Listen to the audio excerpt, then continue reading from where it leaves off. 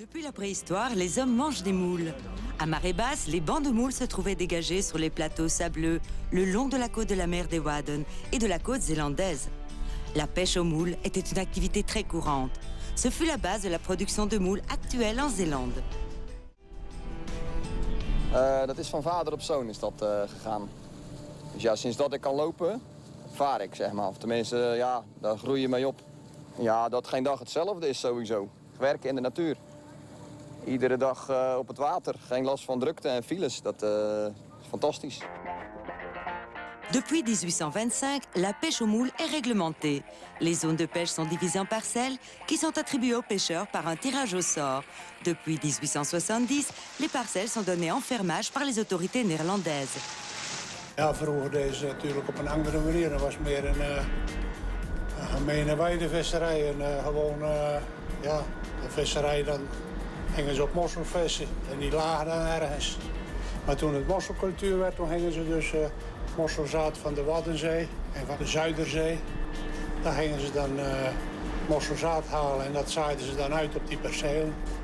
Les moules grandissent dans oriental et dans la partie ouest de la mer des Wadden. Ces zones sont en contact direct avec la mer du Nord. Dans ces zones, les moules se reproduisent au printemps. Pendant cette période, les moules matures rejettent dans l'eau des gamètes mâles et femelles. Un jour après la fécondation apparaissent les larves. Elles forment ensuite une coquille et descendent vers le fond. Une moule juvénile de 1 cm de long est appelée naissin. Une fois qu'il y a suffisamment de naissins, les mytiliculteurs ont le droit de collecter deux fois par an un pourcentage déterminé de naissins. Une fois que les moules sont de 3 cm environ, elles sont déplacées vers d'autres parcelles où la réserve alimentaire est optimale. Après deux ans environ, les moules ont atteint leur taille commerciale de 5 à 6 cm.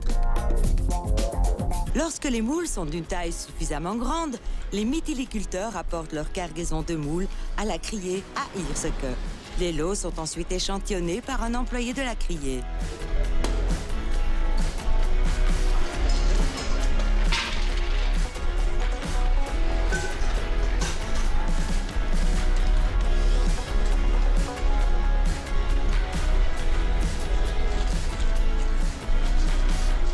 Les résultats de l'échantillonnage sont présentés sur le tableau de vente et les négociants en moules peuvent s'inscrire pour les lots proposés au moyen d'un système numérique de vente aux enchères. L'offrant du prix le plus haut remporte tout le lot.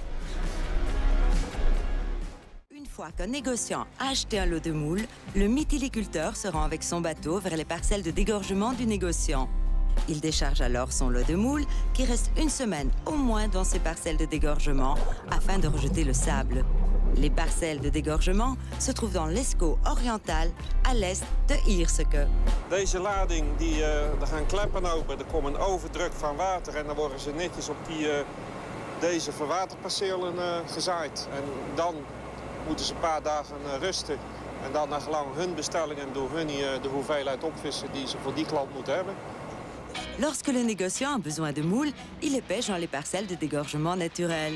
Elles sont ensuite rincées à bord. Un cycle de dégorgement supplémentaire a lieu à terre, pendant lequel les moules sont rincées avec soin et refroidies dans l'eau prélevée de l'escaut oriental. Ensuite, elles sont collectées à la main et triées selon leur calibre. La majeure partie est destinée au marché des produits frais et est emballée dans des bacs étanches de différents poids. Les négociants en moules déploient tous leurs efforts pour commercialiser des produits sûrs. Une fois les moules retirées des parcelles de désengorgement de Hirseke, elles sont livrées dans un délai de 24 heures aux clients. Des échantillons internes et externes sont prélevés afin de garantir la sécurité alimentaire. Les moules sont pêchées avec fierté par les mytiliculteurs et préparées dans de nombreuses variations par de nombreux chefs cuisiniers. Car les moules peuvent être mangées chaque jour et en toute occasion. Pour un repas sur le pouce ou pour un festin culinaire, les moules sont la garantie d'un repas convivial dans le respect de la nature.